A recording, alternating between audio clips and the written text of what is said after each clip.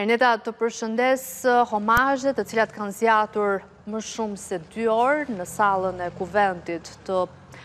Shqipërisë, për sa i përket të gjithë atyre që kanë ardhur, kanë dhënë deklaratat e tyre një rezyme të përgjithshme se çfarë ndodhi në më shumë se 2 orë e 20 minuta.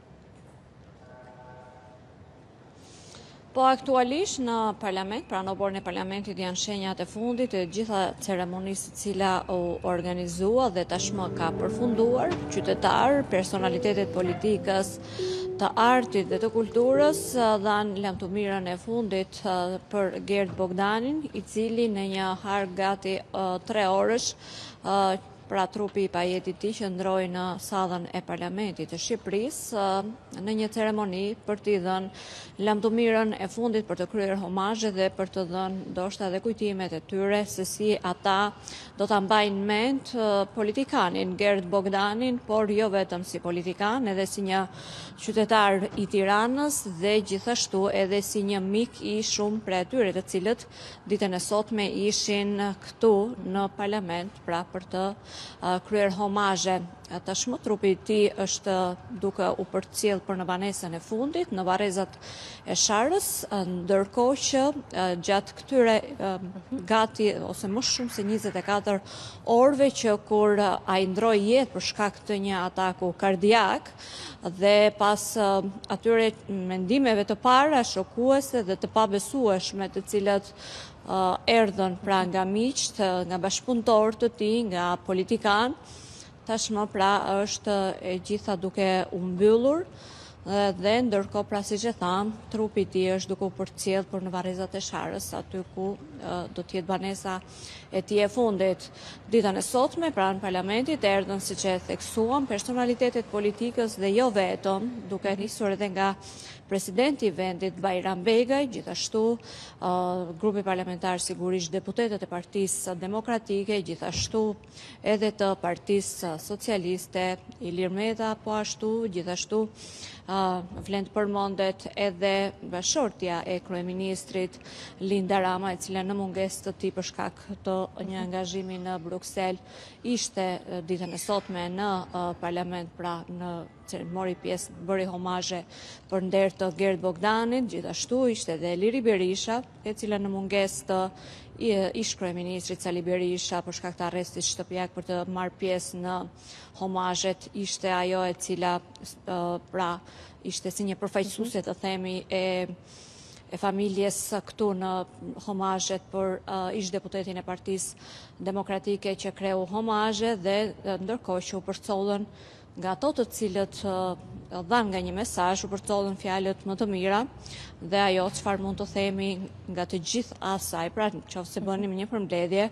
është se uh, Gert Bogdani, ish deputet i Partisë Demokratike, do të mbetet në kujtimet e gjithsecilit si një uh, politikan i mirë, si një qytetar i mirë dhe si një uh, si një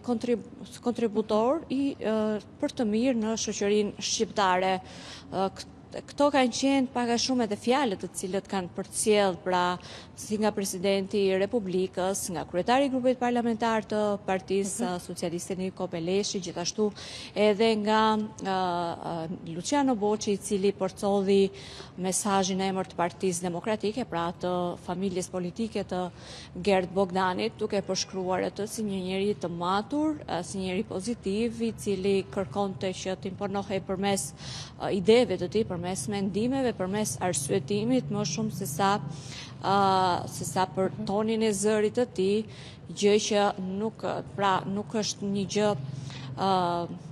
nuk, nuk është një gjë e fshehtë që shpesh politika shqiptare karakterizohet nga një nga një tension ose mhm. nga një konfliktualitet të vazhdueshëm, por Gert Bogdanin për atë çfarë ai ka përcjellë, përgjatë viteve 2009 deri në 2017 është përcjellë për të kundërtën e këtyre, për argumentin dhe për një njeri i cili gjithmonë përcillte qetësi dhe mhm. pozitivitet. Në fakt Erneda një dhimbje e thellë një trishtim që sigurisht miqtë, familjarët, të afërmit, por edhe ata që krijuan një varg të madh në pritje për të hyrë dhe për t'i dhënë lamtumirën e tij të fundit në sallën e Kuvendit të Shqipërisë, përsa i përket të gjithë njerëzve që sot erdhën në këto homazhe që sigurisht ngushëlluan familjarët e tij, miqtë e tij, duket si Një pikëtakimi që bëri bashkë jo vetëm grupin e deputetëve, grupin parlamentar të deputetëve të Partisë Socialiste, por gjithashtu edhe të Partisë Demokratike, pa parë në këtë ditë ndasi politike, ndasi në mendime, apo ndasi edhe në fraksionet, që ato deri dje kanë përfaqësuar dhe nesër do vijojnë t'i përfaqësojnë gjithsesi. Duket si një homazh që bëri bashkë të gjithë. Ishte ky edhe Kujtimi që do të mbetet për Gert Bogdanin në një farë kuptimi? Pikërisht ishin homazhe të cilat dukej sikur vendosën një lloj paqe tek të gjithë, pra tek të gjithë kampet politike, tek të gjithë personalitetet politike, tek të gjithë politikanët të cilët shpesh Po, rrethanat janë të mhm. tilla që i ndeshin me njëri tjetrin, por ditën e sotme nuk ishte vendi për të gjitha këto, por mhm. ishte vendi vetëm për të qenë solidarë në radhë të parë me dhimbjen e familjarëve të Gert Bogdanit, të cilët kanë humbjen më të madhe se gjithë të tjerët dhe më pas të miqve të tij dhe gjithashtu edhe të simpatizantve që ka patur Gert Bogdani gjatë viteve të tij si i aktivizuar në politika, mhm. apo edhe gjatë këtyre gati dy viteve të fundit, kur ai ka pasur një lloj tërheqeje për t'u përkushtuar më shumë në jetën e tij familjare dhe në, në, në profesionin e tij, pra në punët e tij të cilat janë më të veçuara nga, ose më të distancuara nga politika. Duhet të kujtoj, duhet të theksoj edhe një fakt tjetër, po. të cilët e kam ndeshur ditën e sotme në oborrin e parlamentit, ishte se nuk ishin vetëm politikanë, miq të tij, apo njerëz të afërm, të cilët kanë pasur një lloj njohje, një lloj kontakti me Gerti Bogdanin, kanë një lloj shkëmbimi idesh me të, por ka pasur edhe qytetarë të cilët thjesht e kanë ardhur të bëjnë homazhe vetëm prej faktit ose prej njohjes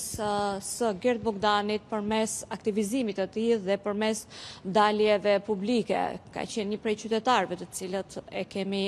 intervistuar mhm. sa i përket Gert Bogdanit dhe atë çfarë ai do çfarë ka lënë pas dhe për çfarë do të kujtohet. Më pëlqente, tha një prej qytetarëve që e simpatizonte figurën e Gert Bogdanit vetëm përmes ekranit të televizionit, më pëlqente vokacioni i tij dhe më pëlqente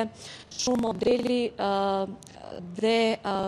ide pra modeli i atij njeriu atij politikani që ai përfaqësoi për atë që ai transmetonte dhe që ishte larg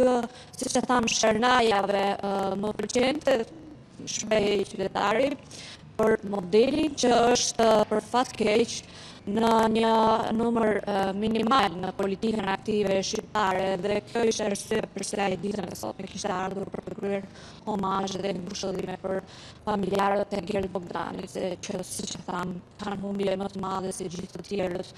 në uh, gjithë këto ngjarje që kanë ndodhur këto uh, orë të fundit. Uh, Por në fakt që që kanë reaguar, i madh e i vogël edhe në rrjetet sociale, në pjesën, Erneta, që ditën e djeshme që u mor vesh lajmi, u konfirmua, të gjithë dukej se kishte një lumë komentesh, statusesh të ndryshme, nga gazetarë, nga ish-politikanë, nga ish-ministra e gjithashtu jo domosdoshmërisht të legjislaturës në të cilën Gerd Bogdani ishte edhe deputet i Kuvendit të Shqipërisë, pasi sikurse edhe ti artikulove, ai ka pasur një karrierë të gjatë pranë Partisë Demokratike edhe në funksione të tjera, qoftë edhe me të rinjtë. Për ta konkluduar, Erneta.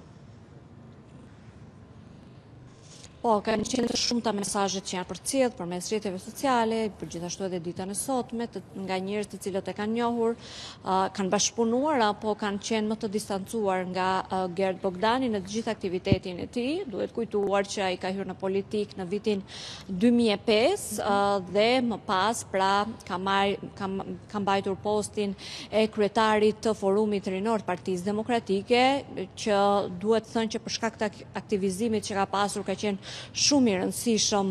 pra posti i kryetarit dhe gjithashtu i gjithë njerëzve që ai kishte, pra të mhm. rinjve demokratë, gjithashtu ka qenë ish-sekretar